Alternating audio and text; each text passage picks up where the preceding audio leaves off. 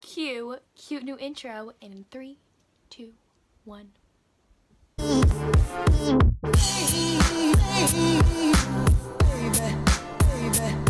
Hey y'all, what's up? My name is Averie and today I'm going to be doing a little Q&A. Before I start anything, I just want to say thank you so much Haley for making my new intro and outro for my YouTube videos.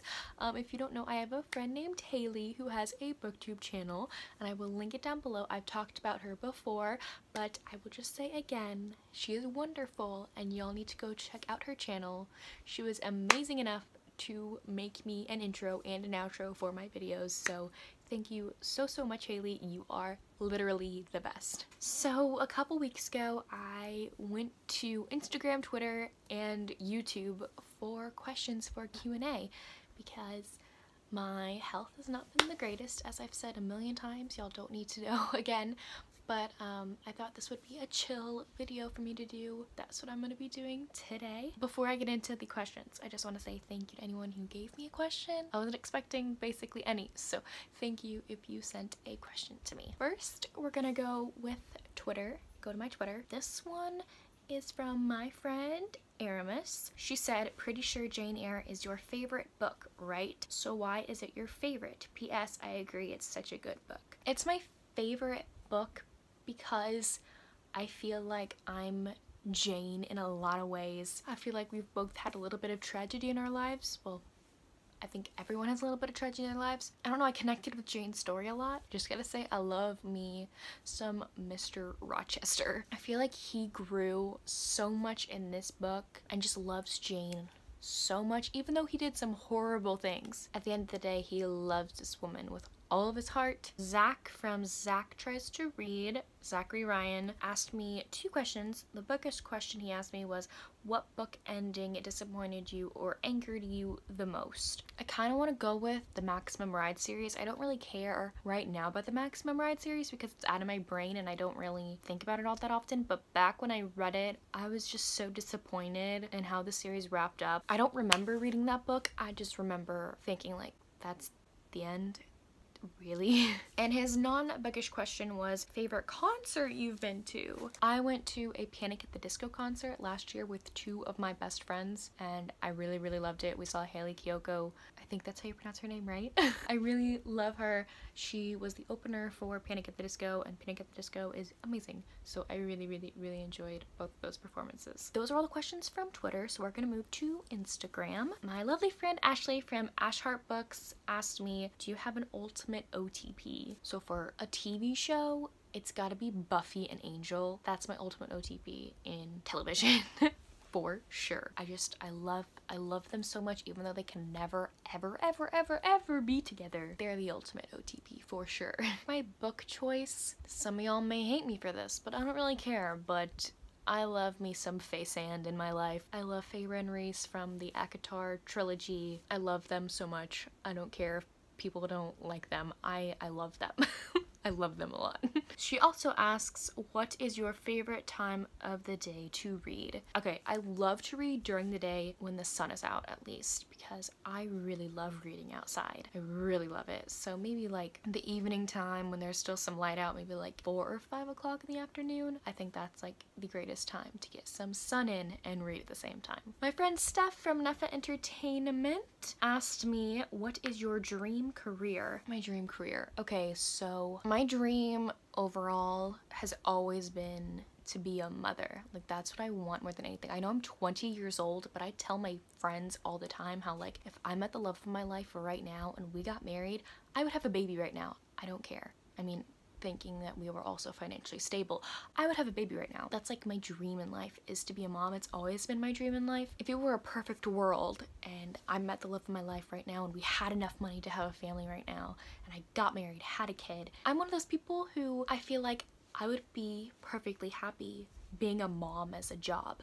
Like if that were the perfect, perfect, perfect life for me, if my job was just to be a mom to my kids, I would actually really, really love that. That's just me personally. I know people out there like really want to have a career. That's I do too. I really want to earn that degree to be able to teach. But I'm saying in a perfect setting, I wouldn't mind being a stay-at-home mom. I really wouldn't. I know it's not a perfect world though, and I know my chances of achieving that are very, very, very slim. I will say, even if I was a stay-at-home mom, I think a dream of mine would be to write a book, to become a writer, and that was what I was planning to get as a degree going into college is to get an English degree. But then I also realized halfway through my first semester that I don't need a degree in English to be a writer. I, I don't. So I knew that if I needed a job, I needed something that would pay me for sure. So I really love kids. Like that's one of my main passions in life is taking care of kids. My dream job, other than writing a book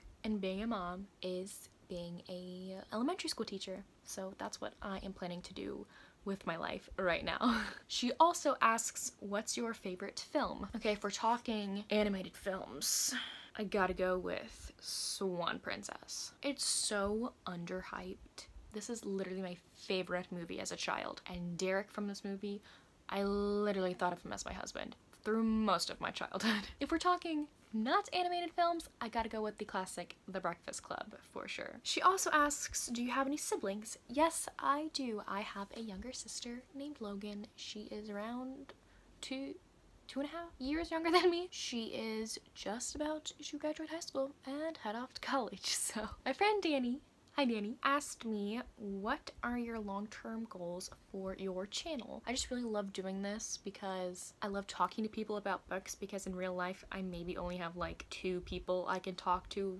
with about books. One of them being Danny, but she's also across the country right now so I can't really talk to her as much as I would like to. I don't know, it's always been kind of like a dream of mine to be a booktuber and be able to reach a bunch of different people throughout the world about books. So I don't know, I guess being able to connect with more people is my long-term goal here. On Instagram, Once Upon My Bookshelf asked me, what are your favorite genres to read? Love your channel, by the way. Thank you.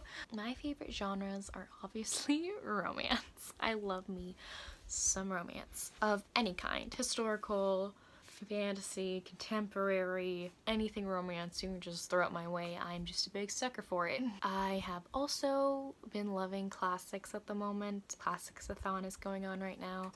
I really love classics. I've also been getting a little bit more into urban fantasy because young adult fantasy has been a little bit hard for me because everything's really cliche and tropey at the moment. But urban fantasy, I really love it because you have a little bit of your world in it. Right now I'm currently reading the Daughter of Smoke and Bone trilogy by Laini Taylor and it's an urban fantasy book and I am really, really, really, really loving it at the moment. Okay, now we're going on to the YouTube comments that I got.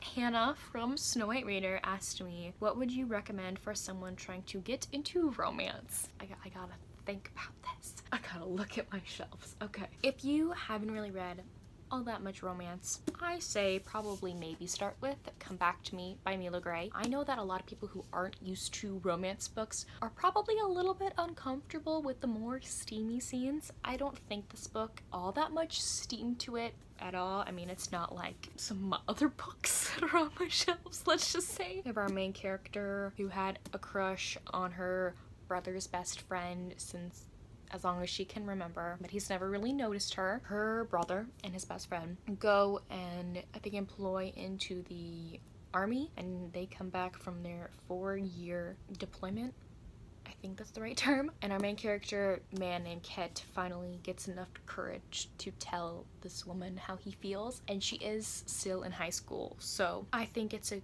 good introductory book to romance. Hannah also asked me what are books that remind you of Jane Eyre. Okay, we obviously have like Jane Eyre retellings. We have My Lady Jane right here, basically a retelling of Jane Eyre. I don't think it's the best one ever written. Looking back on this book though, I don't love it as much as I did when I first read it, just because Mr. Rochester is put into a whole new light that I didn't really like thinking back on it. But this is, I think, a funny Jane Eyre retelling. I honestly think my favorite retelling of Jane Eyre would be Brightly Burning by Alexa Donne. This is Jane Eyre set in space.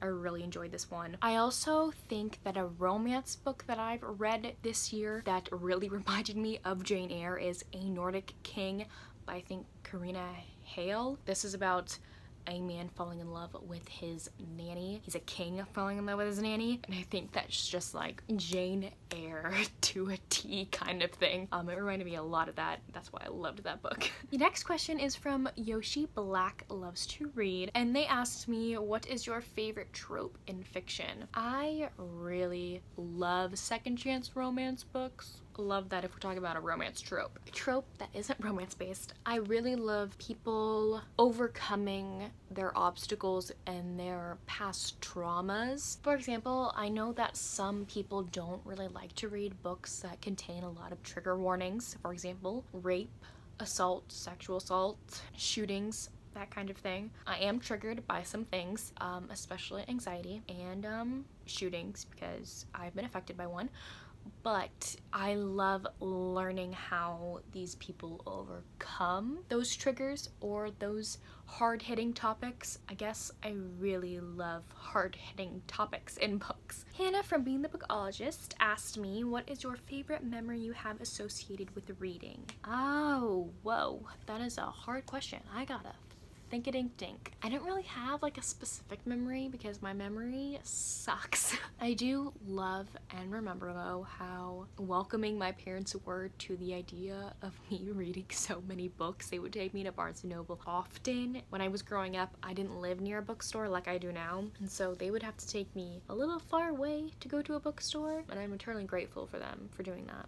But I loved how they kind of like embraced my love for reading since I was very, very, very little. And I still have this love to this day, and they ask me all the time. They don't know how that got introduced into my mind to read so many books. Hannah also asked me if you could travel anywhere in the world, where would you go and why? I know this is probably a weird one, but a place that I really, really, really want to go to is Poland. And that's probably not everyone's first choice. but my favorite book for a while was Salt of the Sea by Ruta Sepetys. This is a historical fiction novel set during World War II and a lot of it takes place during Poland and I honestly, before this book, did not know that Poland was affected by this war so, so, so greatly. And I just love that history aspect to it. I'm not really a history person, like, at all, but I feel like when it comes to World War II and the Europe area, I'm just a sucker for it. So I feel like I would love to go to Poland.